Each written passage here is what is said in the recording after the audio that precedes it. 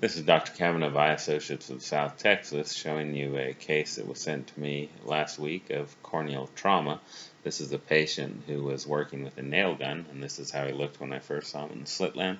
You can see there is a opacity centrally in the cornea and you can see how shallow the anterior chamber is. If we put a slit beam across the cornea and the iris, usually you see a space between the two. In this case, the iris is right up against the cornea. This makes us suspicious that there is an opening in the cornea, uh, likely this area that we're looking at here.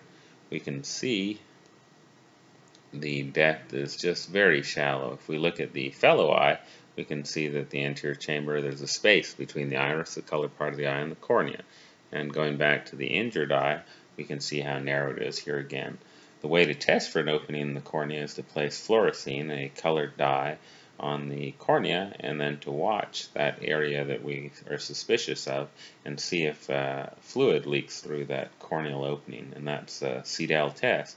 We can see here again, I'll get the patient to blink and close his eye. This diffuses the fluorescein and then watch this area carefully and you can see a little waterfall there starting and that's aqueous coming out of the front part of the eye uh, showing you leakage of fluid. This of course needs surgical repair.